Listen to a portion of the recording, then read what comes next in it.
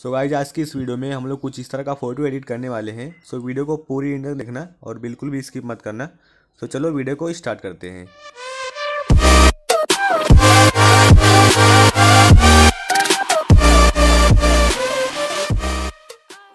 Okay so guys अगर आप- इस चैनल पे नए हैं तो प्लीज़ सब्सक्राइब कर देना और बेल आइकन को भी प्रेस कर देना। तो चलो वीडियो को स्टार्ट करते हैं। सो so गाइज़ सबसे पहले आपको ये वाला बैकग्राउंड पिक्सार्ट एप्लीकेशन में ओपन कर लेना है। आप लोग लेफ़्ट साइड में देख सकते हैं कि मैंने कहाँ से इसको यूज़ किया है। सो गाइज़ इसको ओपन करने के बाद आपको ड्रॉडूल ड्रॉडूल ऑप्शन पे क्लिक कर देना है। यहाँ पे इसको ओपन कर लेना। यहाँ पे इसको ओपन करने के बाद आपको ये वाला जो आइकॉन दिख रहा है, इस पर क्लिक कर देना। यहाँ पे इसको क्लिक करने के बाद जो एम्प्टी लेयर दिख रहा है, उस पर वाइट कलर सेलेक्ट कर लेना। यहाँ पे इसको सिलेक्ट करने के बाद इसको स्क्रॉल डाउन करके नीचे लाएँगे। और नीचे लाने के बाद ये जो इरेजर वाला ऑप्शन दिख रहा है, इस पर क्लिक कर देना। और यहाँ पे जो सेव दिख रहा है, इस पर क्लिक करके आप रेक्टेंगल वाला सेव सेलेक्ट कर लेना थर्ड वाला। और यहाँ पे फिर वाले ऑप्शन पे क्लिक कर देना और यहाँ से ओके कर देना। ओके करने के बाद यहाँ पे टाइप करके फ़र्स्ट सेकंड वाली लेयर पे टाइप कर देना। और इसको कुछ इस तरह से स्टेच करेंगे। आपको भी सेम इसी तरह करना है। और इसको इस तरह से रोटेट कर देना।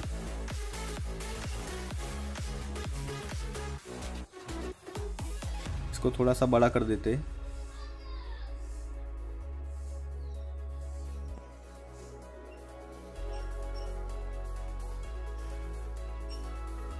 इसको हल्का सा नीचे ले लेना।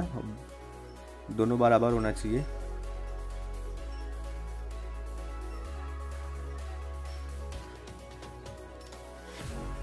ये होने के बाद वापस एक लाइन ड्रॉ करेंगे।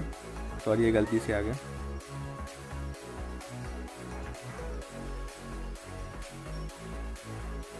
और इसको इस तरह इस तरह से करना है। सॉरी वापस मिस्टेक हो गया, यहाँ से बैक चले जाएँगे। एक सेम पतला पतला लाइन ड्रॉ करना है।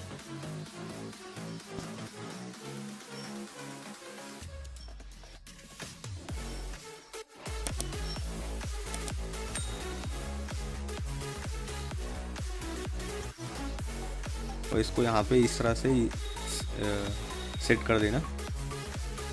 बीच में हल्का सा बस येलो कलर का गैप दिखना चाहिए। ज़्यादा बड़ा नहीं, एकदम हल्का ही दिखना चाहिए।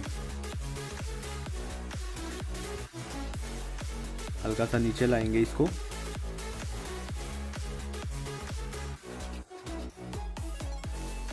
और यहाँ से इसको डन कर देना। तो भाई इसको यहाँ से डन करने के बाद आपको ऐड फ़ोटो वाले ऑप्शन पे क्लिक करना है। यहाँ पे आपको मिल जाएगा ऐड फ़ोटो वाला ऑप्शन और यहाँ से अपने मॉडल को आप सिलेक्ट कर लेना। यहाँ पे सिलेक्ट करने के बाद इसको बड़ा कर देना।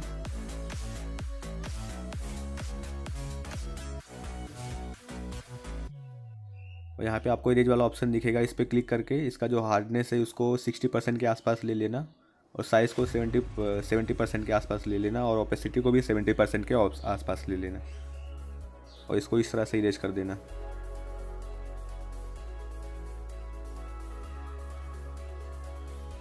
तो भाई इसको इरेज करने के बाद यहाँ से इसको डन कर देना।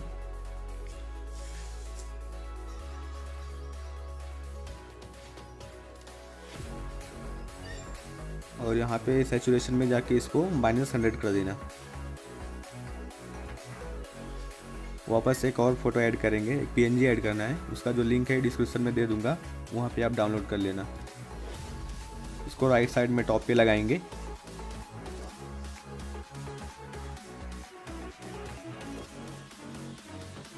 और एक और पीएनजी ऐड करेंगे।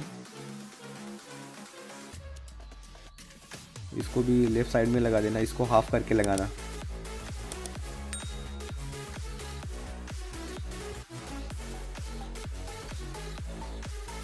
और यहाँ से इसको डन कर देना। वापस ऐड फ़ोटो पे जाएँगे। और यहाँ से अपने मॉडल को सिलेक्ट कर लेना। और इसको सिलेक्ट करने के बाद इसको राइट साइड में लगा देना। हल्का सा नीचे ले लेना। बस।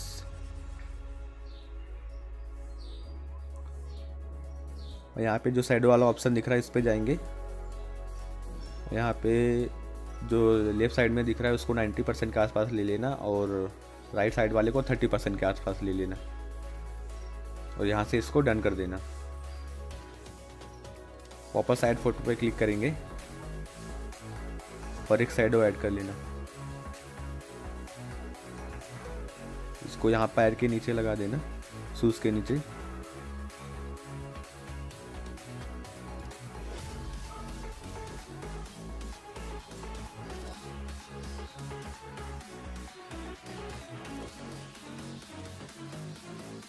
यहाँ पे क्लिक करके इसका डुप्लीकेट ले लेते हैं और यहाँ पे लेफ़्ट साइड वाले पैर शूज़ के नीचे लगा देना है।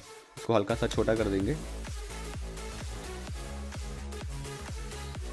और यहाँ पे इस तरह से इसको लगा देना। और इसको यहाँ से डन कर देना। डन करने के बाद वापस साइड फ़ोटो पे जाएँगे। और यहाँ पे आपने जो प्रोफ़ाइल स्क्रीनशॉट लिया है, इसको यहाँ पे ऐड कर लेना।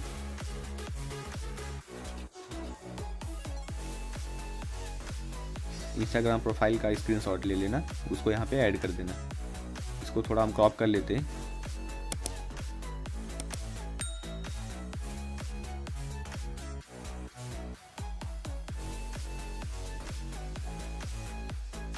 यहाँ पे इसको यहाँ क्रॉप करने के बाद डन कर देना और इसको लेफ़्ट साइड में यूज़ कर लेना।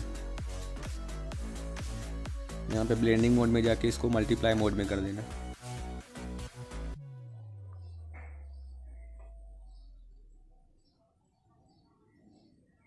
और यहाँ पे लेफ़्ट साइड में इसको यहाँ पे यूज़ कर देना।